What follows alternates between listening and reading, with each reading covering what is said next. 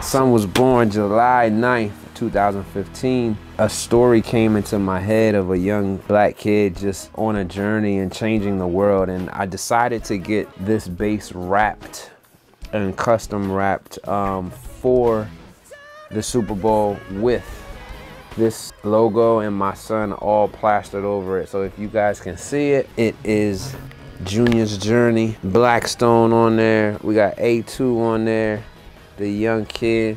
We have Kaisha on the back. Everybody knew it as Mrs. BBE.